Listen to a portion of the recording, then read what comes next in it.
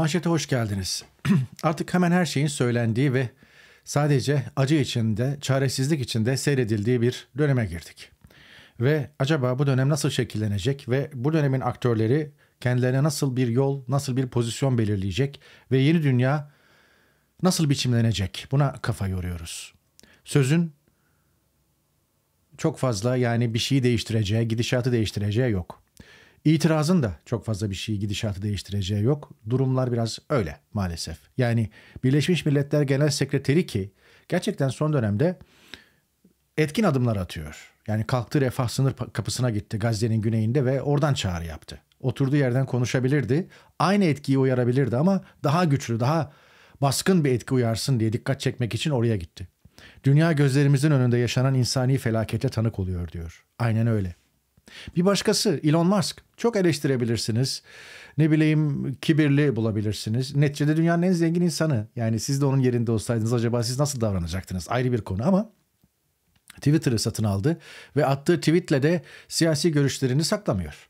Esasen Twitter'ın patronu e, siyaseten bağımsız olmalı, tarafsız olmalı e, ve her görüşe kurallar çerçevesinde, genel etik anlayış çerçevesinde yer vermeli, vermeye çalışmalı. Yani bariyerleri kaldırmalı filan falan ifade hürriyetinde özellikle. Önceki patron öyleydi Jack. Soyadını hatırlamıyorum şimdi ama e, Elon Musk öyle değil. O duruşunu hep ortaya koyuyor. Fakat paylaştığı grafik önemli. Yani paylaştığı grafik grafiğin üstünde İran savaş istiyor. Lafı var. Yani İran savaş istiyor da peki alttaki cümlede şu yani mealen çeviriyorum. Peki diyor bak bakayım diyor yani İran'a İran'ın etrafındaki e, üsler kimin üsleri? Yani sen hem İran savaş istiyor diye bağırıyorsun hem de İran'ın dört bir tarafına Amerikan üsleri yerleştirmişsin. Haritayı biraz daha yaklaştırayım görün. Sonra da diyorsun ki İran savaş istiyor.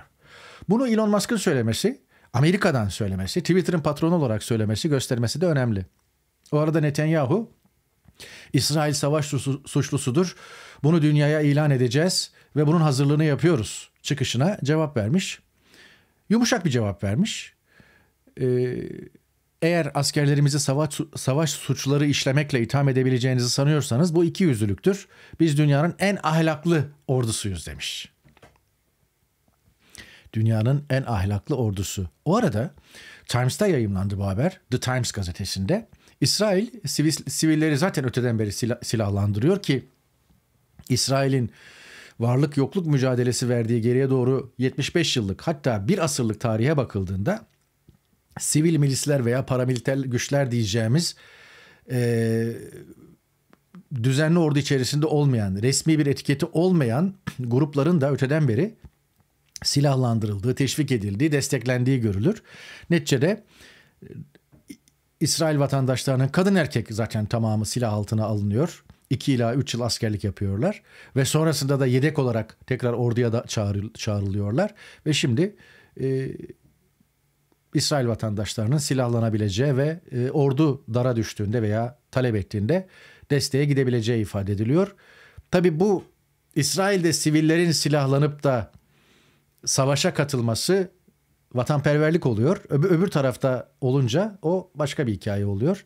Hiç girmeyeceğim siz varın kıyas edin ama Gazze'den yapılan son açıklama 8306 rakamını veriyor ölü 7 Ekim'den bu tarafa. Artık rakamlar her gün 700, 800, 1000 artıyor. Hafta sonu 7 bini geçti denmişti. Şimdi 8 bini geçmiş. Ben bu yayını yaptığım sırada belki 9 bine yaklaştı bilmiyoruz. Çünkü aralıksız bombardıman var. Ben bağlanan muhabirleri takip ediyorum. El Cezire'den BBC'ye, Sky'dan CNN'e kadar bir muhabir bağlantısında Gazze'den bağlanan veya sınır boylarında neyse bağlanan bir muhabir 3-5 dakikalık bağlantısında bile onlarca patlama duyuyorsunuz arkadan.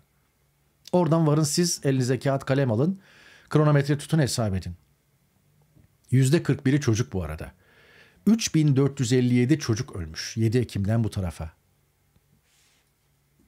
The Times'ta yayınlandı bu grafik. İsrail neden hastaneleri e, hedef alıyor? Çünkü hastanelerin altında tüneller var, hastanelerin altında Hamas karargahları var.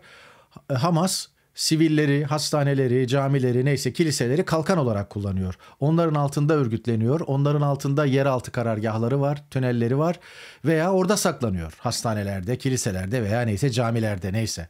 Dolayısıyla İsrail Hamas'ı hedef aldığı için dolayısıyla esasen Hamas hedef alıyor. Hastaneye hedef almıyor. Hamas üssünü hedef alıyor. Hamas üssü hastanenin altında olduğu için de hastane vuruluyor. Ne yapalım? demeye getiriyorlar. Pek öyle değil.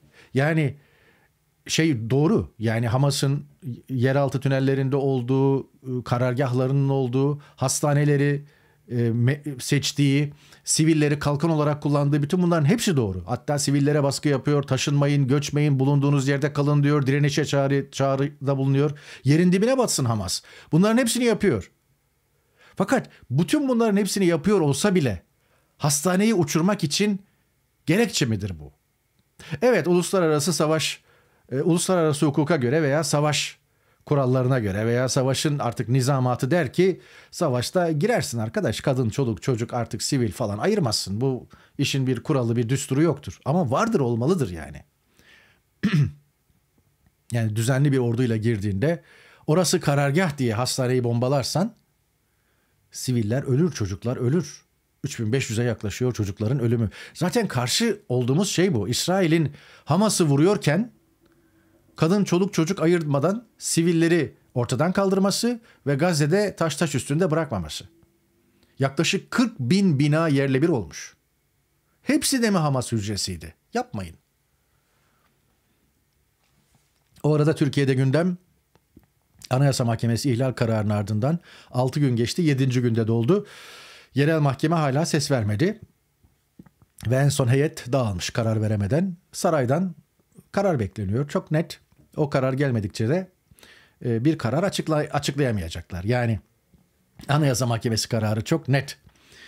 Yani Sami Selçuk'un söylemesine bile gerek yok. Ama duayen hukukçu diyor ki ya arkadaş diyor hak ihlali. İlk mahkeme yargıçları bu belirlemenin bu hak ihlali kararının gereğini yerine getirmek ve derhal Can Atalay'ı salmak zorunda diyor. Anayasa anayasa e, şeyini getirmiş, maddesini getirmiş. Karar Gazetesi'ne konuşmuş Profesör Doktor Sami Selçuk. Anayasa Mahkemesi kararları madde 153 resmi gazetede hemen yayımlanır ve yasama yürütme yargı organları idare makamları gerçek tüzel kişileri bağlar. Net diyor ki bu diyor emir kipiyle kaleme alınmıştır. İlkokul çocukları bile anlar bundan. Dolayısıyla diyor hiçbir değerlendirme falan filan yapılacak bir şey değil. Herhangi bir yargıda falan bulunacak bir şey değil. Derhal salı vermelidir. O kadar demiş en son bağlarken.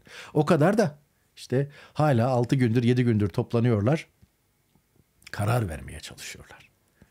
Halbuki bu kararı uygulamak zorundasın. Anayasa Mahkemesi iki kere mahkemeye yazı yazmış.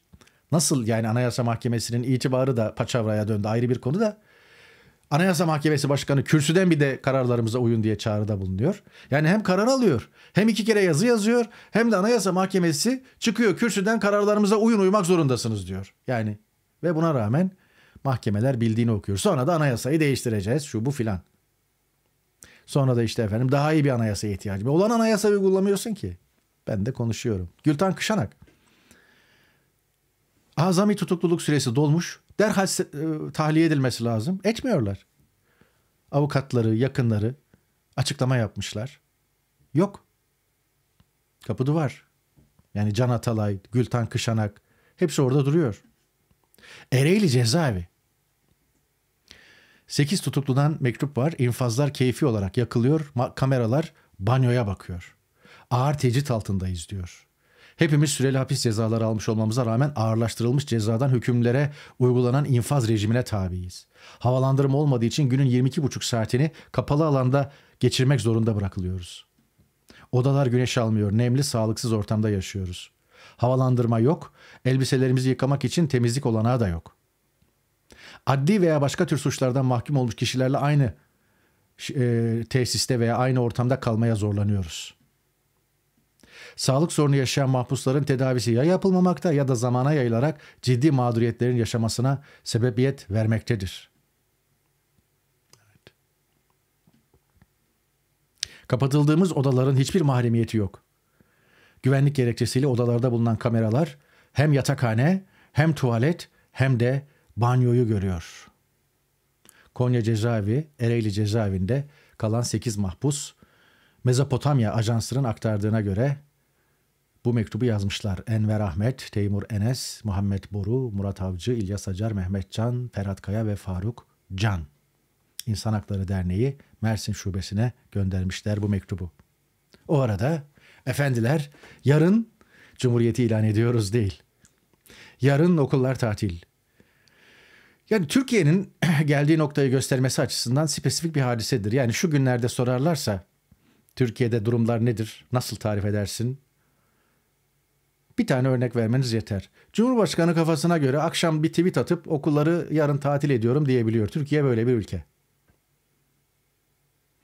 Telefonun yoksa, Twitter'ın yoksa ya da ne bileyim bilgi alma şansın yoksa sabahleyin okula gideceksin ancak orada öğreneceksin okulların tatil olduğunu. Böyle bir ülke. 30 Ekim'in tatil olduğu ancak 29 Ekim akşamı Cumhurbaşkanı tarafından bir lütuf olarak sunuluyor.